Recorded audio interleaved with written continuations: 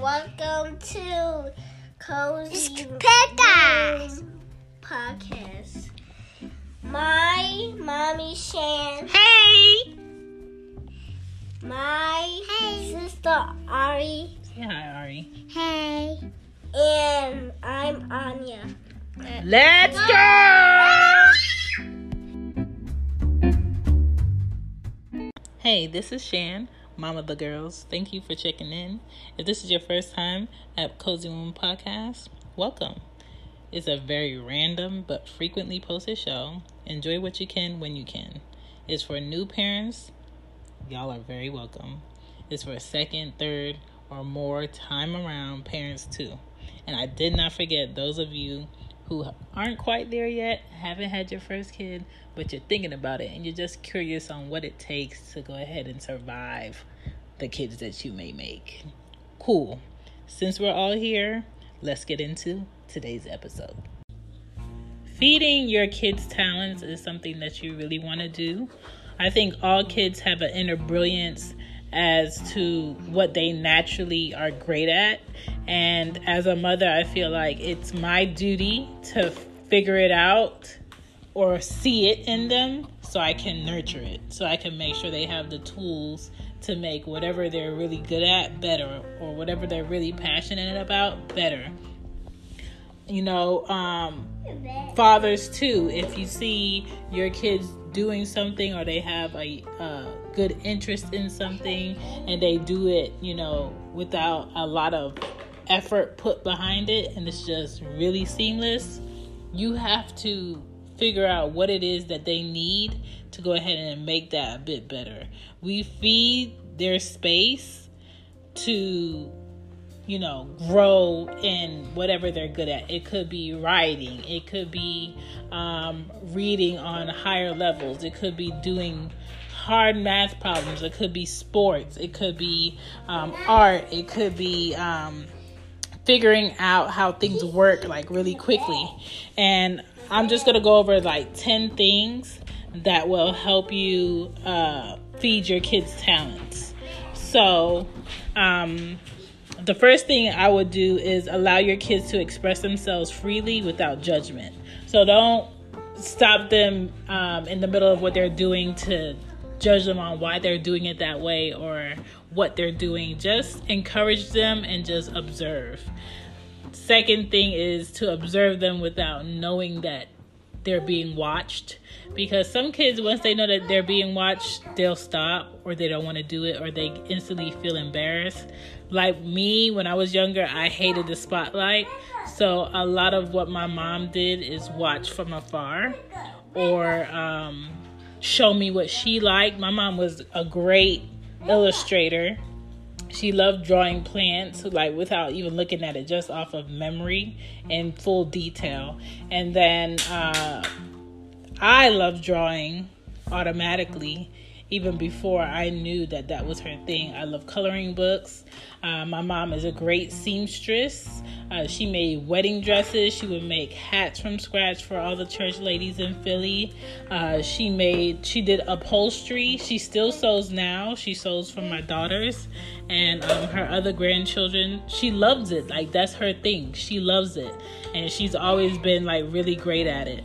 Um, when it came to projects she was excellent at doing like school projects with us um, one memorable project that she did is she helped my youngest brother create the Willy Wonka chocolate factory in the kitchen on the table. I think that was the latest we ever stayed up. Our bedtime was always eight o'clock Monday through Friday, and she um, let us stay up a little bit later to complete that. The project that she did with me in second grade, um, we uh, created. Uh, George Washington Carver's school, where he was teaching um, children um, about, you know, all the educate educational things that they were deprived of. So we um, created a school we did all the little chairs in there and the people, and um, it did win. Uh, I wanted to say like second place in the contest of the top three um, projects that were made. Number three, what you want to do is give your kids options on things that can help them do that thing that they like. So, whether that's going to stores and uh, getting supplies, whether that's taking them to the museum, whether that's uh, showing them books on things that may they may like or motivate them, or um, watching documentaries and uh, YouTube videos on things. That's something you can help to feed their talents. The fourth thing is remember that it's not about you, okay? What your kid likes, what your kid naturally wants to do, what your kid is passionate about has nothing to do with you making them like something for the sake of you really wanted to have a football player or you really wanted to have so, uh, a daughter or a son that can really sing really good. If that's something that they don't want to do, then they're not going to do it.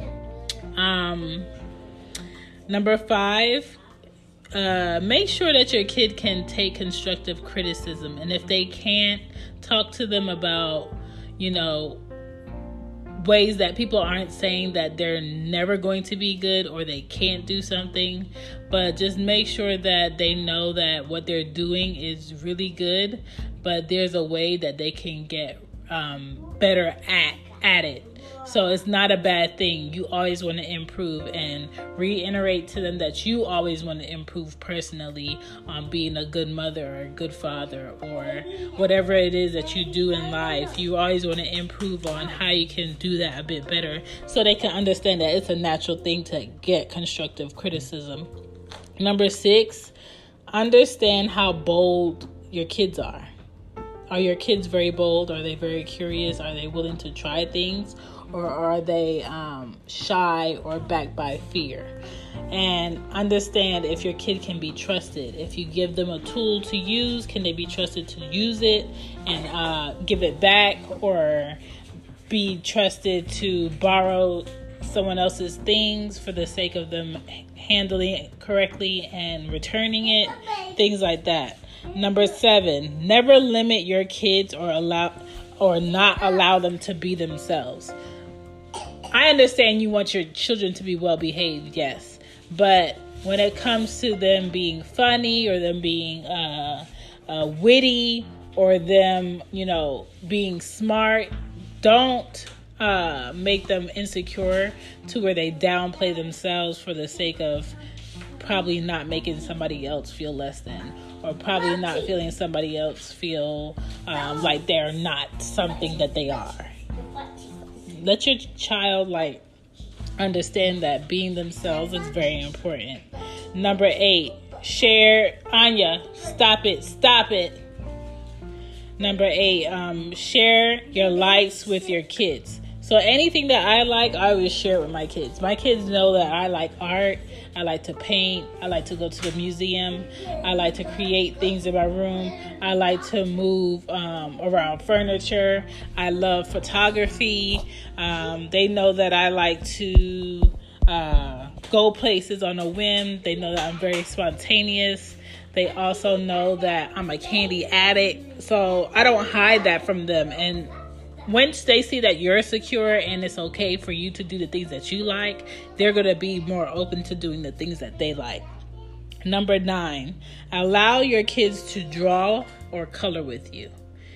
I don't know, something about colors or free expression of having a blank piece of paper and being able to use something to put something on it that it kind of opens your child up to um, a different way of thinking like there are no rules.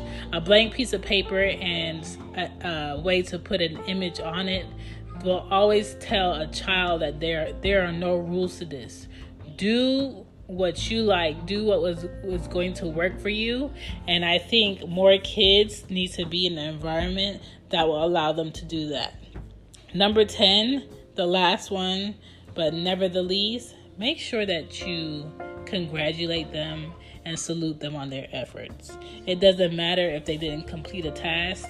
What really matters is the fact that your child tried. There's a lot of adults in life that are passionate about things, love things, really want to do things, but they're too afraid to try. They're too afraid to put in a little bit of effort to get an ending, rewarding result. And that's what's stopping them in life from being happy. That's what's stopping them in life for um, getting to the next level of where they need to be is they're afraid to try.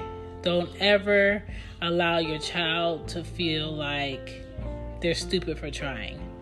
No, you're never stupid for trying, but it's impossible for you to know what's out there, what opportunities will come if you don't put that effort out.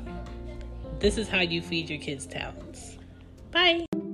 Thank you guys for listening to Cozy Womb Podcast. Please let us know your thoughts at 470 210 8752 or on Instagram at Cozy Womb Podcast or Twitter at Cozy Womb Pod. Or you can definitely email us at cozywombbmama at gmail.com. See ya! Bye! Bye.